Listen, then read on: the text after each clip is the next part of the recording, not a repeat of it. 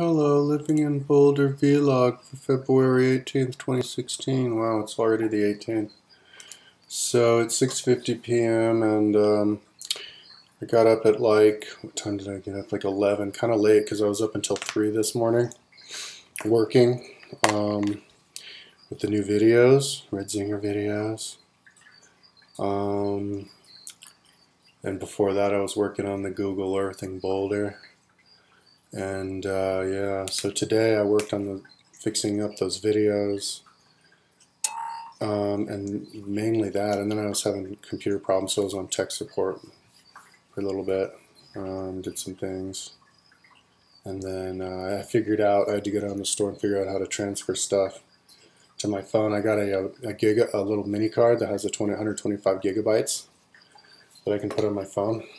And uh, so right now I'm transferring all these audiobooks, like the best audiobooks to it. I'm going to organize them on there. It's going to be awesome.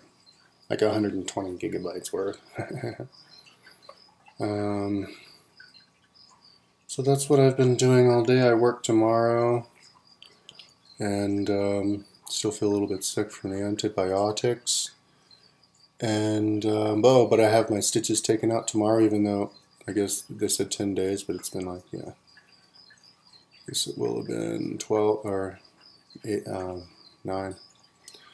So, um, that's about it. I'm just, I feel like I'm doing all this new stuff's happening. Those Finding those videos, uploading, oh, and then I'm doing screen captures of all the little, all the people, upload photos, you know, and then the, like the Google Earth thing that I was so hooked on.